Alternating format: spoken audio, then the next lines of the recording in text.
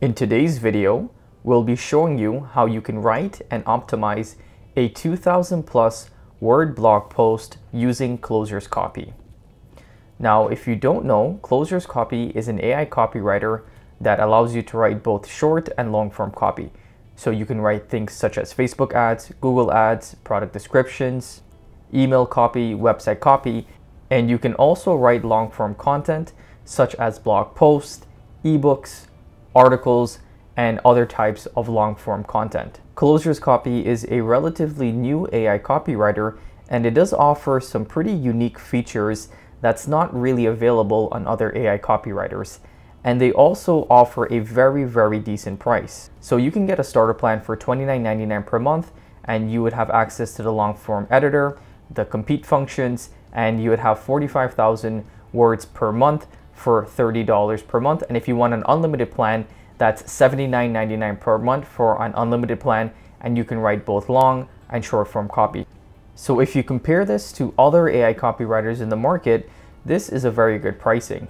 And they're also one of the few AI copywriters that offers a lifetime deal. So you can actually go ahead and pay one time and have unlimited access to Closers Copy and all of its features.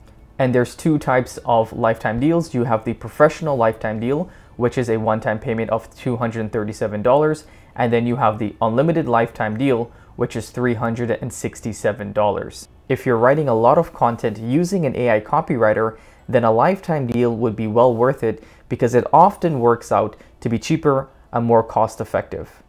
So it's safe to say that Closers Copy is a very good deal when it comes to pricing. But let's go ahead and actually use Closers Copy and see the quality of output that we can expect when using this AI copywriter. I'll leave a link in the description below in which you can get a monthly plan of Closers Copy or you can go ahead and grab the lifetime deal. In order to write and optimize a blog post using Closers Copy, we're going to be using the compete and the long form functions. We'll also be using the frameworks and we may look at workflows as well. Just to make sure that we're getting relevant and high quality content, let's go ahead and use the framework. So we'll be using the blog title framework.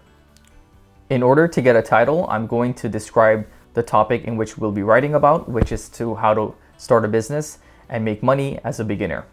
These are the outputs that we got, how to start an online business as a beginner and make money, the beginner's guide to starting your own online business, how to start an online business as a beginner, five easy steps. So I like this title, so I'm gonna go ahead and we're gonna paste this in here and make this an H1. And let's go ahead and get an intro paragraph for this blog post. So again, I'm gonna head over to the frameworks and search up intro. And here we have the blog intro framework. I've copied the title and pasted into this framework and I'm gonna add some more content just to give more context to the AI. And I'm going to click write for me. And these are the outputs that we got for the intro paragraph for our blog post. It starts by stating that you've decided to give the online world a try. It's a good idea. There are countless opportunities out there waiting to be tapped into. But if you want to make money online, you need to know which business to start first. So what is the right online business for you? What is your dream business, etc. And if we scroll down, we have some other outputs that are pretty good as well, but I do think that the first one is the best. So let's go ahead and add that intro paragraph onto our long form editor. Before we continue writing our blog post, it's important that we go ahead and do some research. We want to find out what are the top ranking blog posts for the keyword how to start a business online or how to start a business as a beginner. And we want to take a look at those blogs to see how many words are being included in those blog posts, what titles and headings are in the blog post, what questions are being asked, and what keywords or information are included in these blog posts. And instead of having to manually search up our keyword and go through each one of the top ranking blog posts to gather this information, we can do all of the research right within Closers Copy. So you want to head over to the compete function and we're going to paste the keyword in which we're writing about. So since we're writing about how to start an online business as a beginner, we're going to paste that keyword in this toolbar. whatever keyword that you're writing or researching, you'd want to go ahead and put that right here.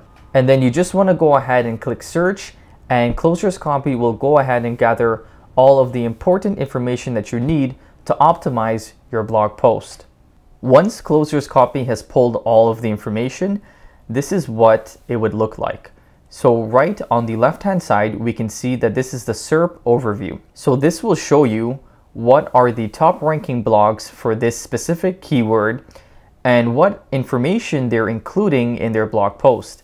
So for instance, the top ranking blog is torquemag.io and we can see the outline for their blog post and we can see how many words that were included in their blog post, how many paragraphs, how many sentences, but most importantly, we can see all of their headings. So we can see their H1 heading, we can see their titles, their headings, um, we can see the outline of their blog post, and we can see what information they've included in their blog post. And this information is important because if they're ranking number one on Google, this is an indication of the information that we have to include within our blog post if we want to go ahead and compete with them.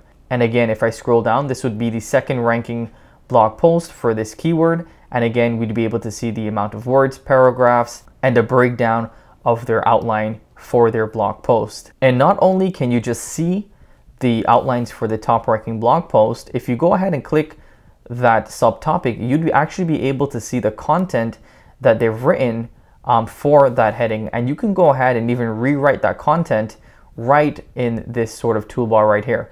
I wouldn't recommend just rewriting um, the topic because you want to add some new and relevant information. But what you can do if we click this drop down menu, we can add this headline onto our blog topic. So if we see some very good headings or titles within the top ranking blog post, we can go ahead and we can add that within our blog post. So I'm just gonna go ahead and I'm gonna go through these top ranking blog posts and see whichever headings I like the best, such as this one, and just add them in to our blog post. Also included in the compete function is the ability to see questions. So you can see what are the most commonly answered questions in the top ranking blog post. And again, I can go ahead, take a look at any one of these, and I can add that into my blog post. If I go ahead to the right hand side of questions, I can see facts, and these would be some of the facts that are included in the top ranking blog post. So again, I can take a look at these facts, and if I like any of them, I can add them in my blog post. If we head over to optimize, this will show you a number between 0 and 100. Obviously, the higher the number, the more optimized your content is. So it will actually compare your blog post to the top ranking blog post in terms of characters, words, paragraphs, sentences, images, and H1 tags.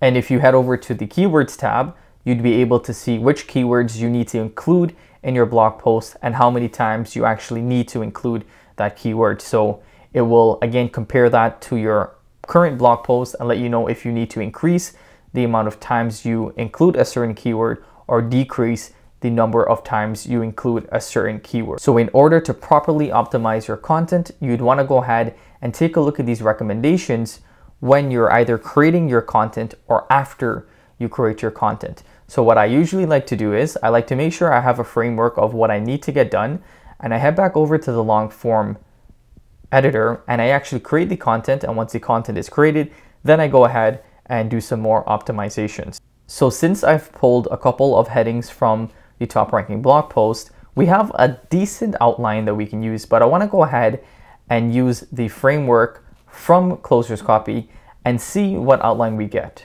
So again, I'm going to go ahead and describe the content and hit write for me. So let's go ahead and paste the outline that we got from Closers Copy and I'm going to combine it with the other outline that we got from the other top ranking blog post. In order to get content for the actual paragraphs for your blog post, there's a couple of ways in which you can go about doing so. The first is to head back to the long form section and in the long form section, you update the context and you click write for me and the AI will start writing content based upon your subtopics. So let's go ahead and try this method first and see what sort of content we get. So these are the content that we got. So why should you start an online business? For instance, it could be that you have a unique talent or skill that you can monetize, or that you want to work from home, or just that you want to earn some extra money. And all three of these outputs are pretty much the same. So let's go ahead and try the second method. And the second method is by using the blog post workflow. And a workflow is just a predetermined template in which you can follow to help create content. When using any workflow, you can go ahead and if you want to follow each one of the steps, you can do so. So for step one, if we were writing our whole blog post using this workflow, then we would start with the headline, then go to the hook, the introduction, the outline, and then the body paragraph. But because we're just trying to get content for the body paragraph, I'm going to go ahead and we're going to copy our body paragraph and then we're going to click write for me. So when we go ahead and use this second method of using the workflow, we get some pretty decent content. I especially like this um, third output, which talks about why you should start an online business. So there is something about running your own business that makes it all worthwhile. Whether you're working for yourself or a boss, you get to make your own decision and your own hours. You get to decide what to wear, when to eat, and how to spend your day. Running a business allows you to create something unique and different.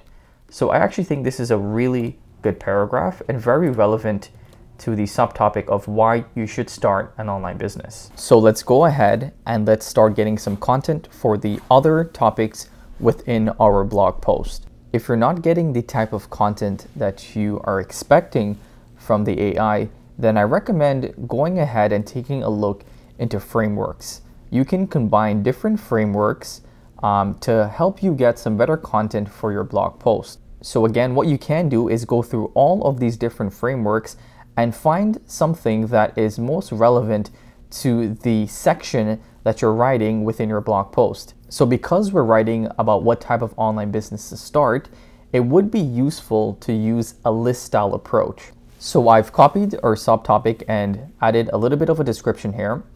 And let's go ahead and see what sort of content we get now from the AI. Okay, so this is the outputs that we got by using the listicle framework. The first one talks about selling stuff on eBay. And if we go through the output here, um, some of them are okay. Uh, again, not the best outputs that we're getting here from Closers Copy, but we can definitely work with some of these. Now, I would like to have more outputs rather than just three, but in the meanwhile, this does help. We have web design, online selling and buying of goods, and an e-commerce store. So we're going to use the ultimate blog post workflow and try to get uh, some more content for this subtopic of what type of online business to start. So this is a good paragraph that we can include to sort of set up our paragraph on what type of online business you should start. So let's see if we can get some good content about how to begin affiliate marketing as a beginner. Okay, so I can see that we actually were able to get some pretty decent content here. So affiliate marketing is one of the best online businesses to start. And then it also talks about the pros and some of the cons of affiliate marketing. So I'm happy with this post. So I'm gonna go ahead and click the add button and that's gonna be right there within our paragraph. Okay, so now we'll be talking about how to start a YouTube channel as a beginner. So I'm going to go ahead again and click write for me and let's see what sort of content we get. So again, just read through the content and whatever you like, just go ahead, make sure that your cursor is at the point in which you would like that content to be and click add. So this is some pretty decent content. Again, talks about what YouTube is and how any beginner can start a YouTube channel and start making money from a YouTube channel. So for online courses, again, I'm gonna do the same thing. I'm just going to change YouTube channel here to online courses and click write for me. Okay, so now we're talking about online courses. Again, just go ahead and follow the same steps and you should have some pretty good content for how to begin an online course business as a beginner. So as you can see with Closers Copy, it was kind of hard to start getting some subtopics um, when we were doing our research. But as we continue writing, I can see that the AI starts to write about other ways or methods in which you can make money online or start an online business. So this is good because we're getting more and more content that we can use.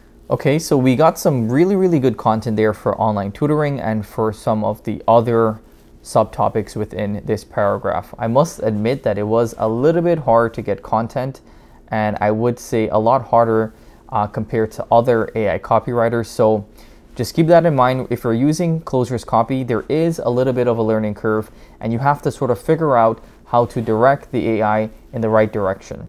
And what I really like about Closers Copy is that you have all these different options when it comes to creating content. So even if you didn't want to use the ultimate blog post workflow, there's a bunch of other workflows that's created by the community that you can use to help you get content.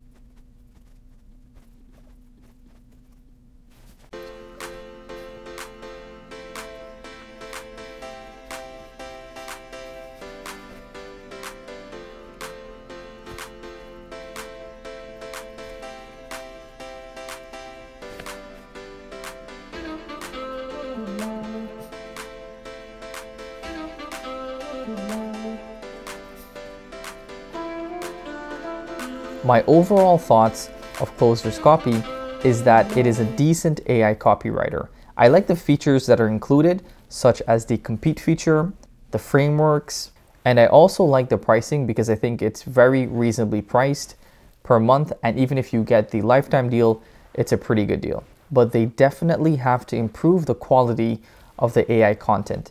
Right now, the AI is just not up to par with some of the top AI copywriters in the market. And as I've used Closers Copy, I can see that the AI will give you some really good content on some specific topics, but not good content on other topics. And that may be because Closers Copy is still developing their own AI copywriter. So in the future, it could be better.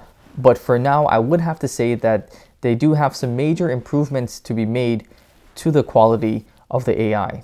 If you enjoyed this video, then give us a big thumbs up and subscribe for more videos in the near future.